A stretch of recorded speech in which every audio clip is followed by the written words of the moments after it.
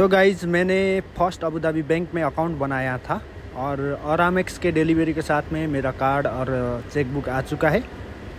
तो यहाँ पर मेरा नाम वगैरह लिखा हुआ है और एक में कार्ड है और एक में चेकबुक है। ये चेकबुक है।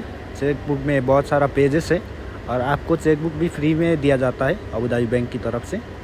और उसके बाद में यहाँ पर डेबिट कार्ड है, इस पर मेरा नाम लिखा हुआ है, मेरा एड्रेस है, ये प्लेटिनियम मास्टर डेबिट कार्ड है। इसमें बहुत सारा ऑफ़र वगैरह मिलता है आपको एयरपोर्ट लॉन्च वगैरह भी मिलता है।